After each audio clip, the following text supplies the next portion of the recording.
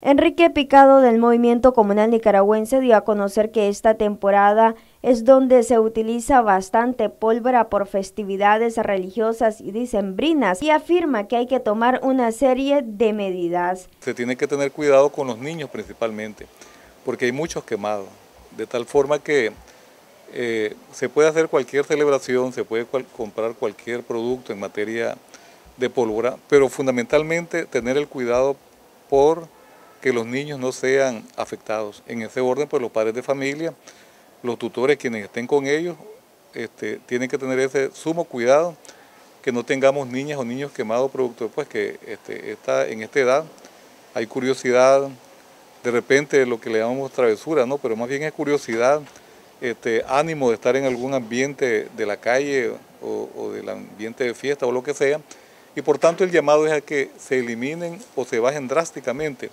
los niveles de niñas o niños quemados por producto de pólvora. Producto también del descuido que tenemos los mayores ante esta realidad. Ese es un elemento clave frente a esta temporada navideña. Picado manifestó que otro factor en esta temporada es el incremento de los accidentes de tránsito. Y aquí, ¿por qué no también ubicar un factor clave que este, de repente es causal de esta situación, que es el alto uso de licor? Eh, pero también este, eh, acelerar, eh, qué sé yo, el vehículo.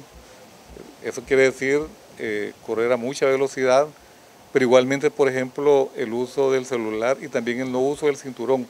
Todo esto por situaciones de carrera, de fiesta, de ambientes de alcohol, el no uso de casco igualmente para los motorizados, son factores serios que generan accidentes y generan muerte, más en esta temporada que ya sabemos pues que da las condiciones para esta, esta realidad. En ese orden pues igualmente un llamado desde el movimiento comunal nicaragüense a que se tenga cuidado desde la persona, la familia y la comunidad en relación a este, a este hecho, esta realidad de salud pública que afecta al país. Y un tercero es, como decimos, la ingesta de alimentos o los alimentos que no son adecuados.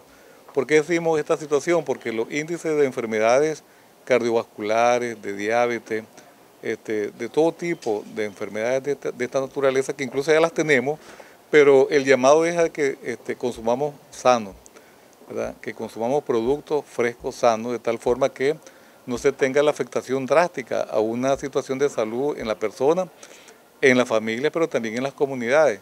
En cuanto a estas realidades este, o epidemias silenciosas que están por ahí, que de repente incluso mucha gente no dice nada sobre esto, pero que producto de situaciones alimenticias, más en esta temporada, igualmente afectan la salud pública, la salud personal y la salud en las comunidades. Entonces, estos tres factores nos parece que desde el punto de vista de salud pública tenemos que tomarlos muy en cuenta y el alerta a los brigadistas de salud, a los promotores, a los líderes comunitarios, a que igualmente tengamos consejería, orientación, eh, visita casa a casa, plática personal, charlas personales y familiares, de tal forma que todos contribuyamos a una mejor salud de la población nicaragüense.